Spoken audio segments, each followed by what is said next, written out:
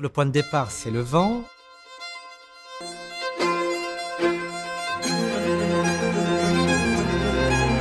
Le vent, ça part d'un point, ça va vers un autre, mais il y a quelque chose de l'ordre de l'infini.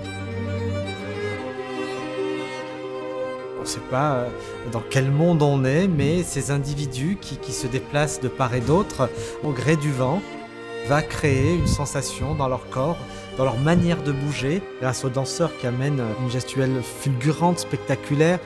Toute cette alchimie-là qui fait qu'à un moment, on est dans une espèce d'ambiance assez magique.